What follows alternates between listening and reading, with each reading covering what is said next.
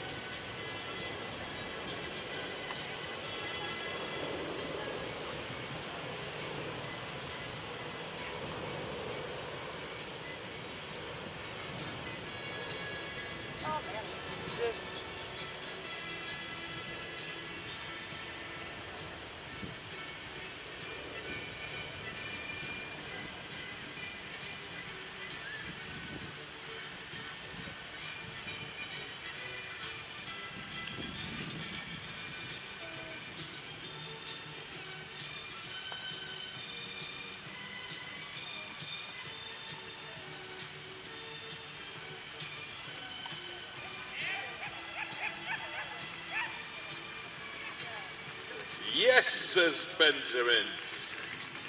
So, a very good round indeed by uh, Benjamin Aillaud. Just the one.